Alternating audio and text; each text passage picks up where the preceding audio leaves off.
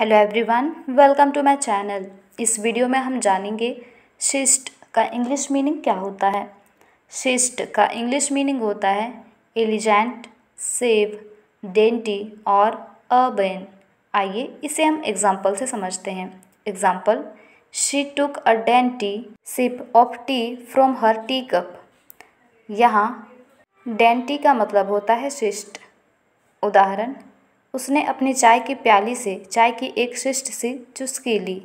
इसी के साथ इस वीडियो में बस इतना ही। Thank you so much